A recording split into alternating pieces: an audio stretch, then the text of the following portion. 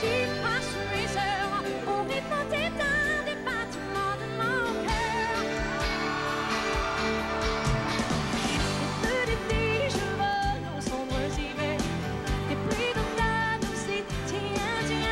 what I'm looking for now is, is, is touring. And this is, to me, the gift of the show business.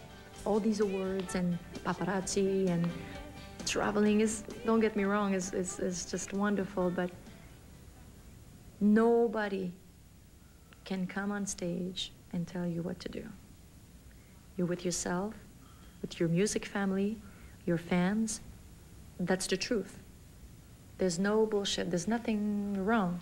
And it's not a one-way thing because when I'm in studio, I love singing in studio. But in a studio, you put your headphones and you sing a song.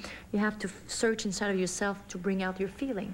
When you're on stage, you don't like you, you don't have to search inside too much. You sing, bring it out, goes one way, and it comes back the other way. Sh you share a moment with them. A two-way thing is just an incredible thing.